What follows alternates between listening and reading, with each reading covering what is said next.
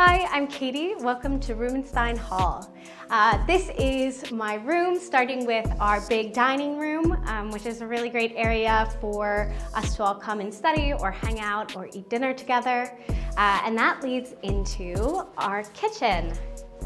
What's really great about apartment style housing at BC is that we have a full kitchen.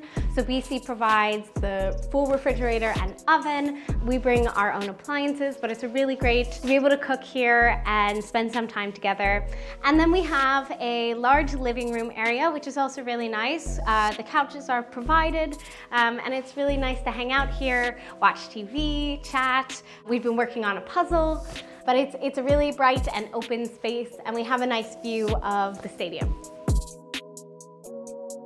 And then if we walk down the hall this way, there are three identical bedrooms and two identical bathrooms as well as a closet uh, and some storage space.